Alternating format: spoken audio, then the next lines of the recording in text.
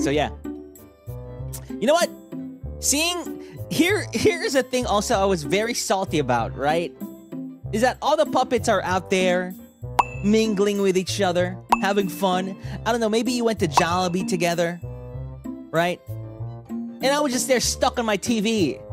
Huh? In that moment, I was like, damn, I wish I was Octo I was part of the Octo Posse so I could meet, meet Octavio. And also have fun outside. Right? Yeah, we ate dinner together, see? Meanwhile, I'm just not even a single slice of pizza? Mane-san? They didn't even give me water. I had to bring water myself. And they told me, "Oh, you can't roam. You can't roam the Cosmania grounds because you don't have a ticket." I'm like, "Excuse me, I'm a guest." Excuse, I have a panel. I'm I'm sorry. We didn't we're, we weren't able to give you a ticket, so you can't really. They're gonna the guard is gonna not let you in. Uh, thank you, thank you. So yeah, I'm I'm glad you enjoyed.